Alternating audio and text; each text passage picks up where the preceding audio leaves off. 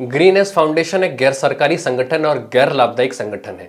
Green एस्कॉन 2017 से green building सामग्री को बढ़ावा देने के लिए सम्मेलन और प्रदर्शनी ग्रीन एस्कॉन का आयोजन कर रहा है। 2019 में विश्वस्तरीय राष्ट्रीय प्रौद्योगिकी संस्थान नागपुर के साथ संयुक्त रूप से ग्रीन एस्कॉन का आयोजन किया गया था। पिछले साल यह आयोजन भोपाल में वैज्ञानिकी और औद्योगिकी अनुसंधान परिषद उन्नत सामग्री और सामग्री और प्रक्रिया अनुसंधान के साथ संयुक्त रूप से आयोजित किया गया था।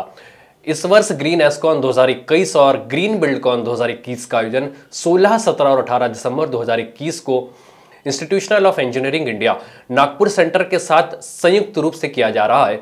ग्रीन बिल्डिंग मटेरियल निर्माताओं बिजली उत्पादकों सीमेंट उद्योगों फ्लाई एस उपयोगकर्ताओं शोधकर्ताओं और विद्वानों सार्वजनिक और निजी क्षेत्र के संगठनों का प्रतिनिधित्व करने वाले प्रतिनिधित्व और प्रदर्शकों में भाग लेने वालों की उम्मीद है। श्री नितिन राउत माननीय नवीन और नवनीकरण ऊर्जा मंत्री महाराष्ट्र शासन 16 दिसंबर 2021 को institutional of engineering north Ambazari road, Nagpur में सम्मेलन का उद्घाटन करेंगे। श्री नितिन गडकरी माननीय सड़क परिवहन मंत्री भारत सरकार 18 दिसंबर 2021 को समापन के दौरान मौजूद रहेंगे। माननीय श्री कृपाल तुमाने, सांसद लोकसभा डॉक्टर विकास महात्मे, सांसद राज्यसभा माननीय श्री सुनील केदार पशुपालन डेयरी विकास खेल एवं युवा कल्याण मंत्री श्री आशीष जायसवाल माननीय अध्यक्ष महाराज राज खनन निगम श्री दयाशंकर तिवारी माननीय महापौर नागपुर श्री विकास ठाकरे माननीय विधायक और कई अतिथि व्यक्ति सम्मेलन में भाग लेंगे। आप अधिक जानकारी के लिए www.greenescon.com पर जा सकते हैं।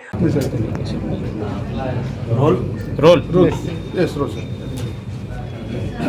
green ash foundation 2017 से फ्लाई एश और ग्रीन बिल्डिंग मटेरियल पे एक आयोजन करता है। इंटर इंटरनेशनल कॉन्फ्रेंस भी होती है एग्जीबिशन भी होती है। और जहाँ तक नागपुर का सवाल है अ, 2017 में नागपुर में हुई फिर 19 में हुई। सत्रह में ये अंबेडकर जो कॉलेज है उनके प्रांगण में वहाँ पर हुई थी। अ, 2019 में वी के साथ में हुई। 2020 में भोपाल में थी जो सी एस आई आर एम्प्री है उनके साथ में। और इस बार ये नागपुर में फिर से की जा रही है। इसमें इंस्टीट्यूशन ऑफ़ इंजीनियर्स हमारे साथ हैं। महाजैन को है, महाराष्ट्र पोल्यूशन कंट्रोल बोर्ड है, और बहुत सारी संस्थाएँ हैं। महात्मा फुले कॉरपोरेशन है डालमिया सीमेंट भी इसमें से हमारे साथ जुड़ा हुआ है। तो इस आयोजन में हम अलग अलग जो टेक्नोलॉजीज़ फ्लैश के क्षेत्र में हुई हैं, और एग्जीबिशन भी उसमें रहेगी।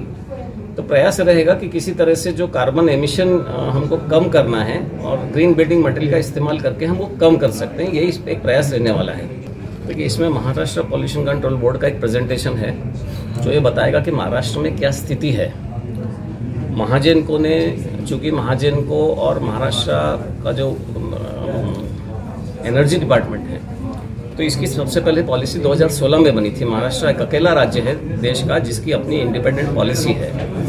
और ये पॉलिसी का उद्देश्य ही किसी तरह से ग्लोबल वार्मिंग को कम करना है और फ्लैश को as a green building material promote करना है। तो इसमें महाराष्ट्र पोल्यूशन कंट्रोल बोर्ड का प्रेजेंटेशन रहेगा। इसमें एनटीपीसी चूँकि वो सबसे बड़े देश के प्रोड्यूसर हैं, इसलिए उनका प्रेजेंटेशन रहेगा। उसमें वो बताएँगे कि किस तरह से एनटीपीसी फ्लैश का उपयोग ज़्यादा से ज़्यादा बढ़ा रहा है और नई टेक्नोलॉजीज़ को प्रमोट कर रहा है।